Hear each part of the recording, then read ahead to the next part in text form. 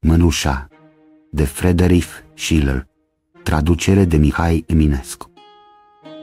Lângă aleilor grădină regele Francisc așteaptă ca să vază cum să încinge îndrefiare lupta dreaptă. Împrejur cei mari ai țării și ai sfatului s-adună.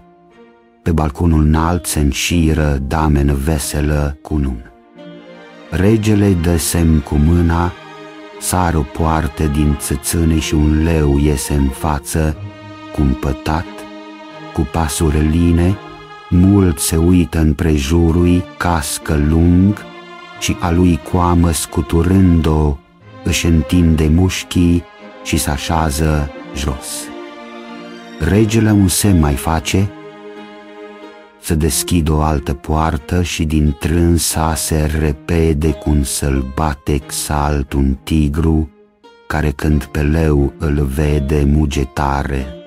Coada roată o învârtește, scoate limba, sperios însă pe leu într-un cerc îl ocolește, sporă e înverșunat, apoi mormăind se întinde lângă el. Regele mai face un semn, ci pe două porți deschise se azvărul doi leoparți, ci cu poftă inimoasă de a lupta se și aruncă peste tigru. Dar acesta îi apucă în cumpritele lui gheare, leul muge, se ridică în picioare, fiarele se înfiorează și împrejur, arzând de dorul de a se sfâșia între ele, se așează. O frumoasă mână scapă de pe margine d'altan o mănușă, drept la mijloc, între tigru și între leu, iar dama, cu nigunda, zis atunci bătându-l joc cavalerului de lorj.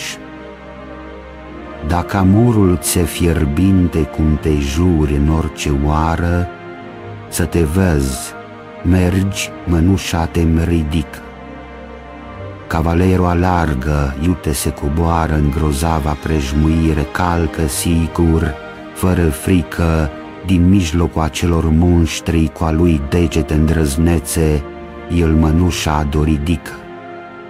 Cu mirare și cu grază damele și cavalerii l-au privit, însă foarte liniștit el mănușa o aduce înapoi. Dar lui laudă răsună orice gură, Cunigunda îl privește cu o gingașă căldură, ci îi promite că norocul e aproape. Dar mănușa el în față i-o aruncă. Doamna mea, o mulțămire ca aceasta nu mai voi și o lăsă numai decât.